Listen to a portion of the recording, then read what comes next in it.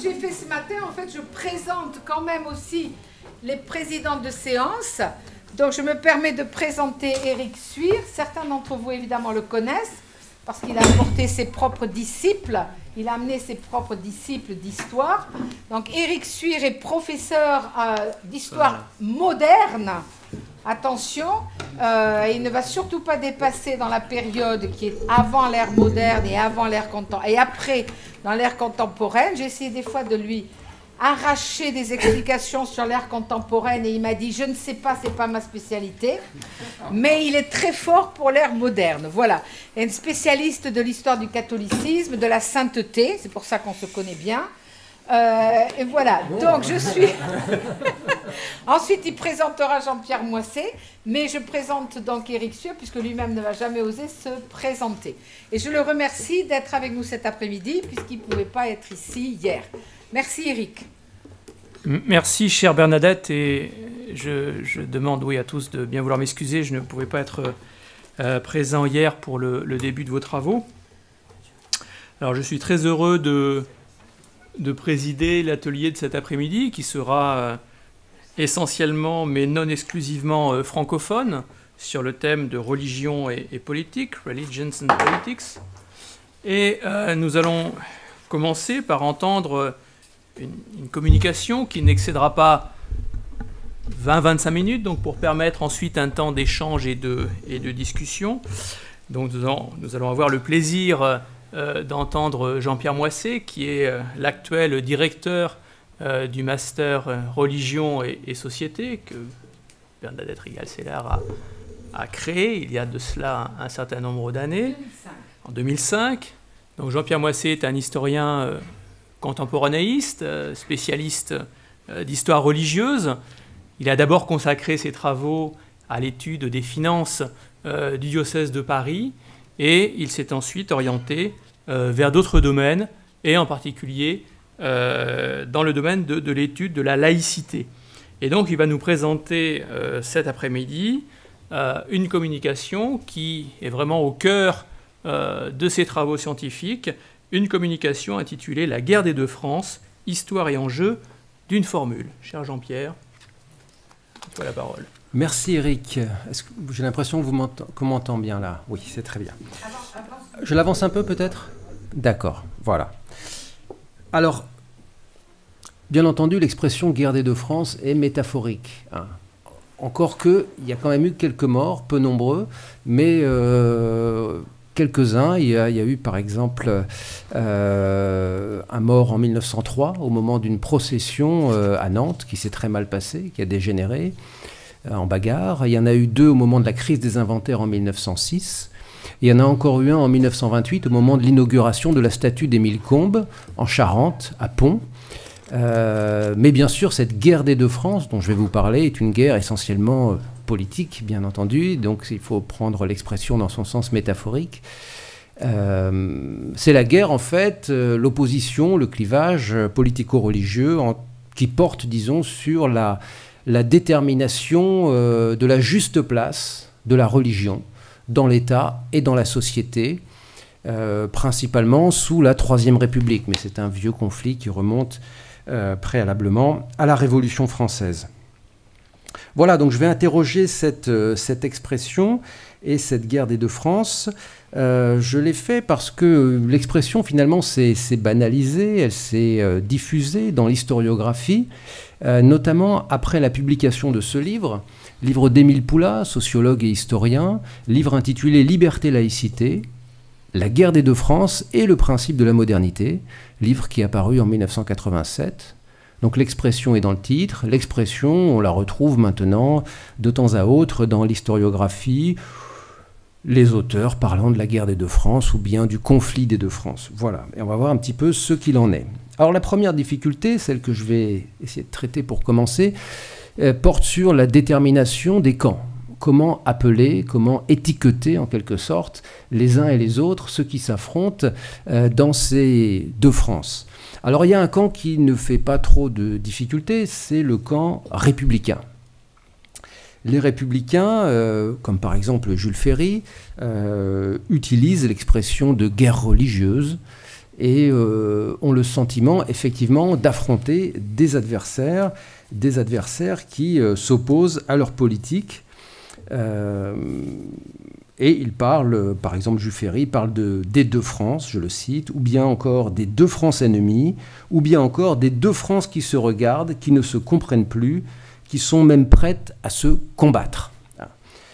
Euh, mais la spécificité euh, qu'il faut relever tout de suite de ce discours républicain, qu'on retrouve aussi chez d'autres orateurs, comme par exemple Valdec-Rousseau, en particulier sous le thème des deux jeunesses, l'une fabriquée par l'école laïque, l'autre par l'école congréganiste. Euh, la spécificité, c'est que ces orateurs républicains imputent à leurs adversaires la cause du conflit. Hein. C'est-à-dire que s'il y a une guerre des deux France, c'est de la faute des autres. Hein. La guerre, c'est les autres. Ce sont les conservateurs, les monarchistes, les anti-républicains, etc., qui en sont les responsables. Alors voici par exemple ce que, ce que dit Jules Ferry en 1889 dans un discours nous, les républicains, nous cherchons une autre solution que la guerre à outrance, la guerre éternelle, la guerre à toujours avec le catholicisme. Quant à nous, nous ne nous sentons en aucune façon investis par nos électeurs du mandat de faire la guerre à quelque croyance que ce soit. Ah, la guerre, c'est les autres. Hein. c'est eux qui veulent la guerre. Et alors, quand on examine le point de vue euh, d'en face, euh, on trouve au fond le même genre de discours. Hein, c'est-à-dire que, le, alors déjà, essayons d'appeler, euh, d'étiqueter en quelque sorte le point de vue d'en face, ce qui n'est pas facile. On serait tenté de dire euh, que c'est le camp catholique qui est en face. Mais le problème, c'est qu'il y a beaucoup de catholiques qui sont républicains. Autrement dit, les catholiques sont divisés. Et donc le camp d'en face, il faut en préciser les contours de manière euh, à, à, sortir de l'équivoque. Alors, l'historiographie, depuis les travaux de Jean-Marie Mayer et d'Émile Poula aussi, a pris l'habitude de parler des catholiques intransigeants. Donc face aux républicains, il y a les catholiques intransigeants, par exemple le comte Albert Demain, qui est l'une des grandes voix du catholicisme intransigeant à la Chambre des députés, même sans doute la plus grande voix. Et Albert Demain parle, lui aussi, de cette guerre religieuse, je le cite, la guerre religieuse déclenchée dans tout le pays, la guerre à Dieu, légale et méthodique, mais toujours irréconciliable et acharnée, on trouve ça dans un discours de 1881, à Vannes, une guerre qui, là aussi, est le fait des adversaires. Hein. Ce sont les républicains qui en sont la cause. Ce sont même plus précisément les francs-maçons qui en sont la cause, si l'on en croit Albert Demain. Donc lui aussi utilise le même vocabulaire en fait, guerre, guerre religieuse, mais il impute à l'adversaire la cause des difficultés, la cause des oppositions. Il dit par exemple ceci dans un discours à messieurs, on nous dit quelquefois, pour nous faire injure, qu'il y a deux France. Si cela était, j'ose dire que la vraie, c'est la nôtre, mais je ne le crois point, car l'autre ne mérite pas son nom. C'est mordant, c'est cinglant, mais on voit bien qu'il euh, y a aussi cette idée que ce sont les républicains en fait qui mènent le jeu, hein, qui accusent euh, les euh, monarchistes d'être à l'origine de ces deux France. La différence en fait entre les deux, c'est que les républicains sont au pouvoir. Donc ils ont la possibilité, eux, de se faire entendre et d'imposer leur vision des choses. Alors en cherchant aussi un peu plus précisément dans les textes, j'ai cherché l'expression elle-même guerre des deux France, en faisant des recherches en plein texte, dans les discours d'Albert Demain, dans les discours de Jules Ferry, dans leurs livres ou publications. Je ne l'ai pas trouvé. Alors j'ai l'impression que c'est une expression elle-même qui est peu utilisée, peut-être pas utilisée à l'époque. On parle plutôt de guerre religieuse, mais on parle aussi des deux France ou des deux jeunesses, ça oui. Alors entrons un petit peu plus euh, dans le, détail pour aller voir euh, maintenant quels sont les, temps forts, les moments de ce conflit et euh, les lieux du conflit. Alors le temps fort, le grand temps fort, c'est ce, sont les quelques années qui suivent l'éclatement de l'affaire Dreyfus. C'est à ce moment-là que les tensions sont les plus vives, que les tensions sont euh, les plus fortes dans le sillage de l'affaire Dreyfus, qui, rappelons-le, judiciairement n'est pas réglée avant 1906. 1906, c'est le moment où l'innocence de Dreyfus est reconnue. Et alors, dans cette période d'une dizaine d'années, euh, le moment le plus conflictuel correspond au gouvernement de la France par Émile Combes, celui dont je parlais tout à l'heure. hein, celui dont, euh, euh, après sa mort, l'inauguration dont, la statue, l'inauguration de la statue a donné lieu à des affrontements très très rudes, puisqu'il y a eu mort d'homme. Alors le ministère Combes correspond, c'est une brève période de deux ans et demi, de juin 1902 à janvier 1905. Et en fait, euh, Combes incarne cette réponse républicaine euh, à l'affaire Dreyfus, à l'antisémitisme, à, cet engagement de certaines congrégations dans cette affaire. Et c'est une réponse extrêmement euh, vive et qu'on peut qualifier de discriminatoire. C'est-à-dire que les, décisions prises par les républicains radicaux à ce moment-là, sous l'autorité euh, d'Émile Combes, euh, sont des décisions qui euh, placent les membres des congrégations religieuses et les congrégations religieuses elles-mêmes en dehors du droit commun. C'est-à-dire qu'un certain nombre de principes républicains sont, sont malmenés, voire bafoués, comme par exemple celui de la liberté d'association, qui a été voté en 1901 mais euh, les associations d'un type particulier que sont les congrégations religieuses sont privées pratiquement du droit de se constituer, puisque toutes les demandes d'autorisation, ou presque, quasiment toutes les demandes d'autorisation, sont repoussées. Euh, le principe de la liberté de l'enseignement, lui aussi, est malmené, puisque euh, une loi de, de, juillet 1904 prive les congréganistes du droit d'enseigner. Donc la liberté de l'enseignement est malmenée. On peut même dire qu'une forme de discrimination est introduite au sein de la population française, puisqu'une catégorie de citoyens n'a plus le droit d'enseigner. Dès lors qu'on est congréganiste, on n'a plus le droit d'enseigner, quel que soit le type d'enseignement. Par ailleurs, Émile Comte demande au préfet de favoriser les citoyens qui soutiennent sa politique. Par ailleurs, il se sert des fonctionnaires comme d'une source de renseignement politique. Donc on peut dire que c'est à cette époque que les tensions sont les plus vives, et on les retrouve, ces tensions, sur le terrain.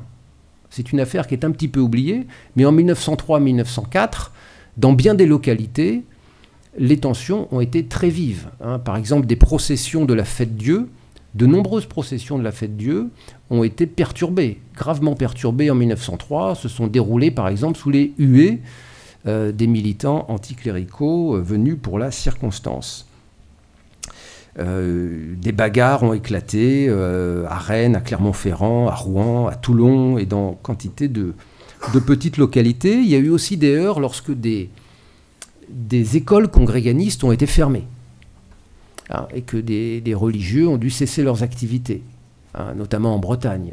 Euh, ces fermetures ont donné lieu à des heures. Et c'est à la lumière de ce contexte qu'il faut interpréter aussi la loi de séparation des églises et de l'État. Euh, c'est une loi qui est votée en 1905, donc juste après, dans la foulée.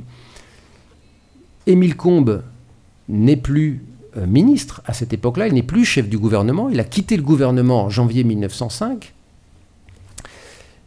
Et euh, c'est un député, Aristide Briand, qui fait triompher ses vues, qui sont des vues libérales. C'est lui le rapporteur du texte, c'est lui qui défend le texte devant la représentation parlementaire, et c'est lui qui impose une conception euh, libérale euh, afin qu'elle soit acceptée autant que possible par la plupart des catholiques, en tous les cas euh, par une très large fraction des catholiques. Il ne faut pas oublier que certains anticléricaux ne voulaient pas de sa loi. Certains anticléricaux considéraient que Briand allait trop loin dans le libéralisme et qu'il fallait que l'État conserve ses moyens de contrôle et de coercition contre, contre l'Église catholique, hein, les tenants d'une forme de jacobinisme ou de gallicanisme qui considéraient que l'État devait contrôler étroitement l'Église. La loi de 1905 repose, comme l'a dit Jean, Jean Bobéraud, de manière que je trouve très, très éclairante, elle repose sur un équilibre des frustrations. Hein. Il y a des des deux côtés, hein, les catholiques intransigeants d'un côté et la fraction républicaine très gallicane, très autoritaire, très jacobine, qui elle aussi doit en rabattre.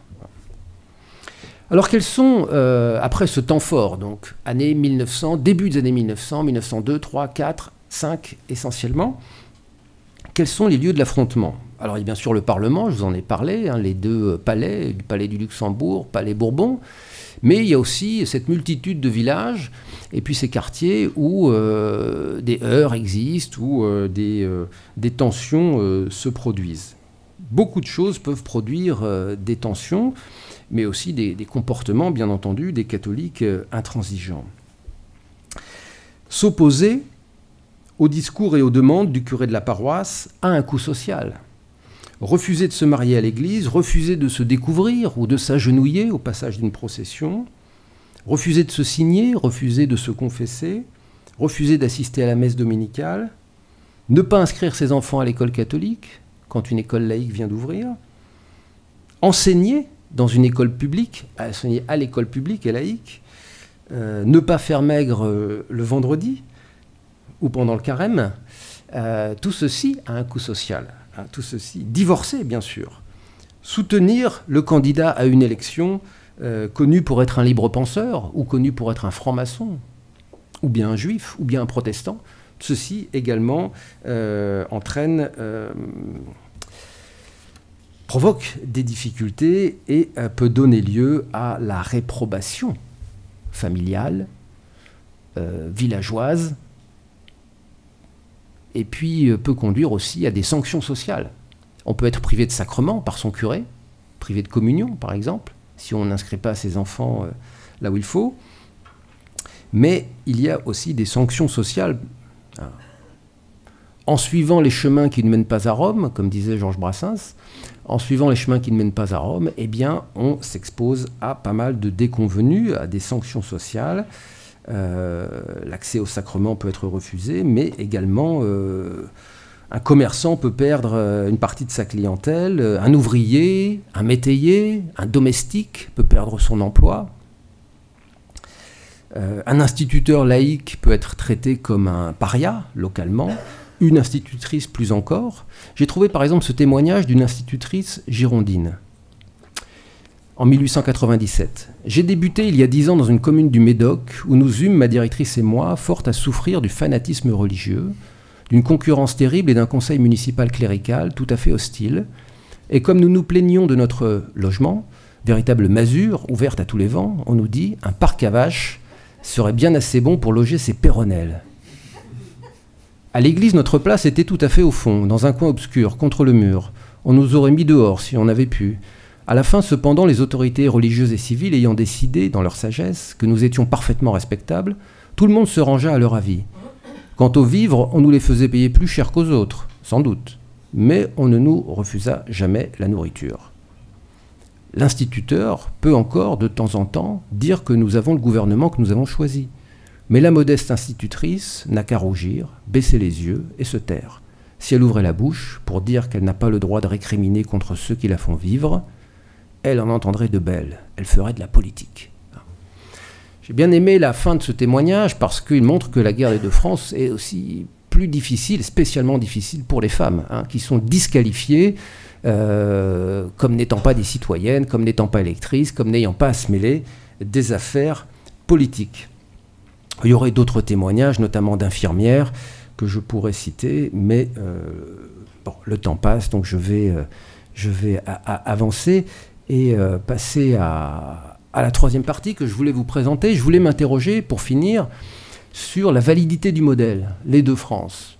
Les deux France, mais quelles deux France? Et puis, pourquoi pas trois France? Sait-on jamais hein En tous les cas, tout ça, c'est euh, comment dire C'est de la modélisation de la réalité. Mais la réalité, il faut la modéliser, il faut la styliser pour, euh, pour en rendre compte de manière compréhensible, pour qu'on sache à quoi faire, pour qu'on mette de l'ordre dans la, masse des événements, mais il y a plusieurs manières de le faire.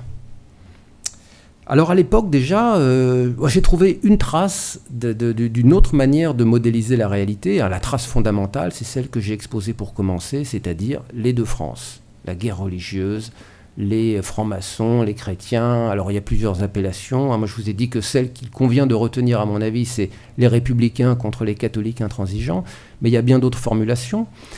J'ai trouvé une trace sous la plume d'un père euh, capucin en 1880, le père Hubald de Chandet, la trace d'une typologie en trois parties. Il a écrit un livre, ce capucin, qui s'appelle Les Trois France, en 1880. 1880, c'est le moment où les républicains viennent d'accéder au pouvoir et lancent la politique de laïcisation. Alors il distingue, alors le vocabulaire est d'époque et il est polémique, hein. donc euh, c'est pas du vocabulaire scientifique évidemment. Euh, euh, alors pour lui, il y a une première catégorie, c'est la France satanique. la France satanique ou la Révolution, donc c'est la France la plus à gauche, quoi. Hein. La France jacobine, la France socialiste, euh, c'est celle qui est la plus, euh, la plus excitée contre la religion. Et puis la France chimérique, intéressant aussi, c'est la France qui soutient le libéralisme. Hein, donc ça, ce sont les modérés, les, euh, bourgeois bontins qui qui vont à la messe le dimanche, mais pas trop non plus, et puis qui veulent pas d'une société finalement organisée par la religion où l'Église serait surplombante. Et puis la troisième, c'est la France catholique. La France catholique ou la tradition. Voilà une typologie en trois parties, intéressante aussi pour penser la réalité, parce que ça permet d'affiner un petit peu le regard euh, que l'on peut euh, avoir, que l'on porte sur, euh, sur la période. Alors le vocabulaire, bien sûr, euh, est un peu, daté, il est très polémique, hein, sauf pour euh, le groupe auquel appartient l'auteur, bien entendu, hein, la France catholique. Euh, mais c'est stimulant cette manière aussi de penser la réalité sociale de, de façon ternaire, comme le fait le père Hubald de Chandet dans ce livre. Alors, j'ai commencé avec Émile Poula, auteur de ce livre La guerre des deux France ou le principe de la modernité. Mais Émile Poula est aussi l'auteur d'un autre livre qui s'appelle euh, Église contre bourgeoisie, livre célèbre parce qu'il a été réédité en 2006, hein, ce qui est assez rare dans les sciences humaines, à 30 ans de distance. Là, c'est une, une publication de 1977. Et dans ce livre, il développe une typologie, lui aussi, ternaire. Euh, Émile Poula, en fait, reprend, au fond, la typologie du père Hubald, mais évidemment en choisissant une terminologie scientifique. Donc pour lui, il y a trois grands foyers idéologiques qui se disputent en quelque sorte le marché politique des années 1850 à 1950 dans les pays catholiques, comme la France ou, l'Italie ou d'autres. Euh, il y a d'une part l'Église catholique, qui produit euh, le catholicisme intransigeant, donc l'institution catholique. Hein, euh, et puis il y a la bourgeoisie qui produit le libéralisme, et puis il y a le mouvement ouvrier qui produit le socialisme. On peut résumer ça de la façon suivante avec ce, triangle en quelque sorte, euh, qui reprend au fond d'ailleurs hein, la typologie du père Hubald, hein, mais en, en, la scientificisant, je ne sais pas si on peut dire ça, c'est pas très joli, mais en tous les cas en la, rendant scientifique sur le plan euh, lexical. Mouvement ouvrier, socialisme, bourgeoisie, libéralisme, Église catholique, catholicisme intransigeant. Donc voilà une autre manière de lire cette réalité, de complexifier un petit peu si vous voulez, euh, mais finalement tout ceci se résout quand même dans la guerre des deux France, parce qu'à la fin dans les assemblées politiques, il faut bien se positionner d'un côté ou d'un autre. Donc euh, les conflits euh, triangulaires se, terminent finalement en conflits binaires dans les moments décisifs quand la partie doit se terminer. J'ajouterai autre chose pour finir cette troisième partie, euh, c'est que on peut aussi contester ce modèle binaire des deux France, républicaine et catholique intransigeante, en rendant prioritaire, en priorisant en quelque sorte d'autres conflits. Par exemple, pour les socialistes, à l'époque, le conflit entre euh, le monde du capital et le monde du travail. Hein, on peut considérer que c'est ça finalement le conflit fondamental. Et que le reste, les questions religieuses ne sont, comme le disent certains socialistes, que des querelles de sacristie. Hein, que le, le, clivage fondamental ne porte pas là-dessus, il porte sur la répartition de la richesse. Et puis on peut adopter aussi un point de vue féministe qui existe à l'époque, qui consiste à dire que le conflit fondamental, c'est celui qui euh, oppose les hommes et les femmes, des femmes qui ne disposent pas des mêmes droits que les hommes et des hommes qui s'opposent à ce qu'elles disposent des mêmes droits qu'elles. Je suppose que chez les sujets de euh, l'Empire, on considère que la guerre des deux France, euh, c'est plutôt celle qui distingue citoyens et sujets, ceux qui ont des droits et ceux qui n'en ont pas ou qui, sont soumis au code de l'indigénat. Donc il y a d'autres, si vous voulez, d'autres manières de penser la conflictualité sociale, et il ne faudrait pas que celle-ci écrase toutes les autres. Alors je conclus En quelques mots, après de rudes combats, la guerre des deux France a été en quelque sorte perdue par les catholiques intransigeants. Le cadre laïque s'est imposé durablement et il a été adopté par pratiquement l'ensemble des catholiques. Ce qui est moins connu, c'est que cette guerre a été également perdue par les républicains les plus anticléricaux, les républicains antireligieux, euh, les plus autoritaires, les plus gallicans, qui, après avoir remporté quelques victoires sous Émile Combes, euh, ont dû en rabattre au cours des décennies qui suivirent. Le grand vainqueur de cette guerre, finalement, me semble être, sur le plan des idées, le libéralisme, et sur le plan des décideurs politiques, sur le plan des hommes, Aristide Briand. Il est l'homme, au fond, qui facilita grandement l'union sacrée en 1914, soit dix ans seulement après les agressions verbales et physiques des années 1903-1904. Euh, Merci pour votre attention.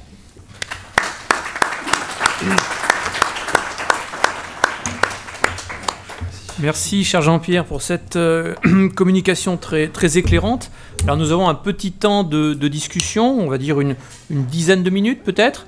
Voilà, j'aurais une question à, te, poser, mais je préfère euh, laisser la, parole ouverte et me tourner vers la salle.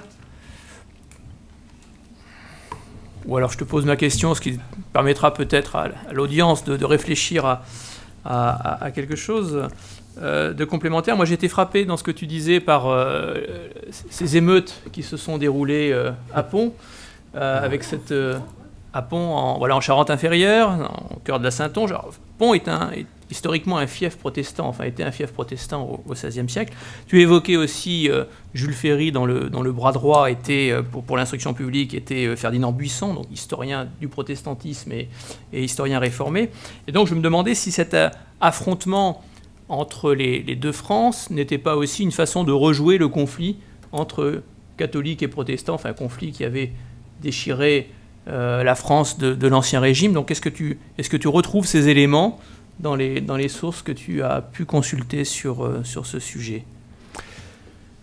Ce conflit entre catholiques et protestants euh, se retrouve un petit peu, on peut dire, dans la mesure où euh, les protestants sont l'une des composantes, l'une des grandes composantes actives de la famille républicaine. Hein, c'est-à-dire qu'ils sont peu nombreux au XIXe siècle, à peu près 1,5% de la population, mais ce sont des précurseurs de la laïcité, ils sont engagés très tôt dans le combat laïque. Ils jouent le jeu complètement de la laïcité. Par exemple, les écoles protestantes ferment après euh, les années 1880, quasiment toutes. Hein, ils jouent pleinement le jeu. Et donc, euh, ils font aussi partie de ce personnel républicain très largement. Par exemple, l'enseignement est largement confié à des protestants et à des protestantes. Euh, Ferdinand Buisson, mais aussi Félix Pécaud, Jules Steg, et puis l'école normale supérieure aussi pour, les l'école normale pour les pour les femmes euh, est euh, confiée à des protestants. Donc oui, les protestants font partie de ce de ce conflit. C'est une des grandes familles, je dirais, avec aussi les juifs certainement, et puis les francs-maçons et les libres penseurs qui sont engagés dans ce dans ce conflit. Sinon, pour Pont, en 1928, c'est un militant de l'Action française qui meurt, euh, qui, meurt ouais, qui meurt, qui est tué par la gendarmerie en fait, hein, qui s'est opposé à l'édification de la statue, en fait, qui a donné, euh, il y a eu une bagarre en fait quand un militant, un camelot du roi, a donné un coup de marteau et de burin pour défigurer euh, Émile Combes, voilà, et donc ça a dégénéré, il y a eu un mort. Merci pour cette explication. Donc je me tourne, oui, s'il vous plaît. Merci. vous avez évoqué euh, les Juifs, qui étaient donc la, troisième religion présente sur le territoire. Est-ce que le consistoire a eu une, euh, un rôle ou une position particulière à l'époque? Je pense pas que les, institutions, les institutions juives se soient positionnées. Je n'ai pas travaillé sur, euh, ces sources-là. je ne pense pas. Ça m'étonnerait. À mon avis, c'est plus, je dirais, une euh, une espèce de, euh, de, sentiment chez les, chez les, juifs eux-mêmes, hein, mais une attitude politique. Même chose, on retrouve des juifs dans le personnel de la haute administration, et euh, un peu comme pour les protestants, mais dans une moindre mesure. Mais je ne crois pas que les institutions se soient positionnées, non. c'est une question, merci infiniment, c'était d'une clarté. Jean-Pierre Moisset, mais euh, je me souviens d'une conférence que tu nous avais donnée, une conférence Montaigne, je crois, où tu avais bien expliqué qu'en fait, la très grande majorité des, des, membres du Parlement hein, qui avaient voté la loi de 1905, c'était des catholiques en fait, puisque les protestants, les juifs, les francs-maçons ne représentaient qu'un petit pourcentage. Donc est-ce que tu peux reparler un tout petit peu de ça? Oui, alors en fait, euh, c'est toute la difficulté en fait. C'est-à-dire que la, question, au fond, c'est qu'est-ce qu'un catholique quoi, hein Alors, euh, d'après le droit de l'Église, un catholique est un baptisé. Euh, et si on retient ce critère, et puis d'après le, pour la République française, sous la Troisième République, au moins lorsqu'on interroge les citoyens sur leur appartenance religieuse, ce qui est encore fait en 1872, lors du recensement de 1872, un catholique, c'est quelqu'un qui se déclare catholique. Et lors du recensement de 1872, 98% des répondants se déclarent catholiques. 98% des Français. C'est la dernière statistique officielle. Hein. Voilà, par religion. Il y avait une rubrique religieuse dans le recensement, fondée sur la déclaration. 98% de catholiques. Euh, donc effectivement, euh, rien ne se fait sans l'assentiment, grosso modo, de la moitié des catholiques. Simplement, le problème, c'est que les catholiques euh, sont extrêmement divisés. Il y en a qui, fréquentent l'Église assidûment, d'autres qui ne l'ont pas fréquentée depuis leur baptême. Au fond, bien des anticléricaux sont eux-mêmes catholiques. Et Jules Ferry a été baptisé. Jules Ferry est athée, il est franc-maçon du Grand Orient de France mais il a été baptisé. Euh, voilà, donc on peut le ranger dans plusieurs catégories, si vous voulez. Donc ça, dépend de, un peu de, de, ce que l'on retient comme critère. Moi, je dirais que l'essentiel, c'est de bien retenir comme critère le fait que beaucoup de catholiques fréquentent l'Église peu ou prou, euh, sans être euh, tout à fait, sans être des dévots et euh, finalement euh, font leur euh, le programme au fond de la Révolution française de 1789, c'est-à-dire celui de l'autonomie du politique et celui d'une Église qui ne, ne joue plus un rôle politique et ne règle plus la vie collective. Voilà. Alors ils sont catholiques, oui, ils sont catholiques, mais ils ne sont pas considérés comme des bons catholiques, assurément. S'ils votent pour un juif ou un protestant ou un franc-maçon, on le leur reproche. Oui, encore. Adrien Oui, monsieur Moisset, j'avais une question. Vous avez utilisé l'argument de l'égalité devant le droit et l'égalité devant la loi pour euh, commenter la loi de. Enfin, je ne sais plus, c'est un ensemble de lois en fait qui vise les, les, congréganistes. Euh, mais est-ce qu'il était utilisé par les catholiques intransigeants cet argument ou est-ce que c'est vous qui, euh, qui l'amenez avec une lecture rétrospective? Je ne l'ai pas vu moi-même dans les sources. je sais qu'il a été utilisé par des juristes euh, comme par exemple euh, le juriste bordelais Léon Duguy, hein, dans l'entre-deux-guerres. Donc, euh, mais c'est un, oui, c'est un, c'est un bon argument. C'est-à-dire qu'il y a des Français qui, effectivement, sont traités d'une manière discriminatoire. Alors, ça a duré un certain temps. Finalement, ces lois ont été rapportées plus tard, mais ça existait. Non, moi, je ne l'ai pas trouvé à l'époque, hein, mais, mais c'est un argument robuste, je trouve.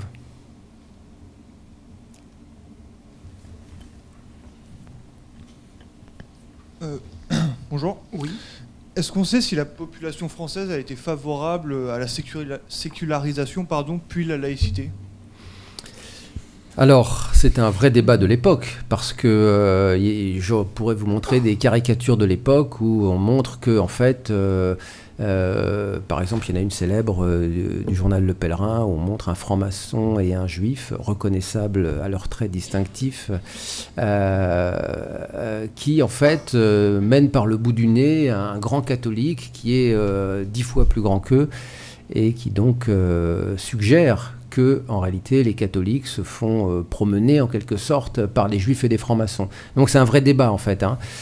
Moi, je pense que ce débat, euh, on, peut, on peut le trancher, on peut, on peut répondre, on peut dire que euh, les catholiques euh, ont été globalement, enfin dans leur majorité au fond, au moins pour la moitié d'entre eux approximativement, favorables à cette politique, puisqu'on est en régime de démocratie, démocratie masculine certes, mais démocratie tout de même, Et d'élection en élection, les candidats qui sont favorables à ces politiques-là sont réélus. Par exemple, la Chambre de 1902, la Chambre du bloc des gauches, euh, sur laquelle s'appuie à la fois Combes et puis Rouvier euh, en 1905, euh, cette Chambre-là est reconduite en 1906. Donc vous avez un test. La loi de, séparation des églises et de l'État date du 9 décembre 1905. Et en 1906, en 1906 il y a des élections législatives.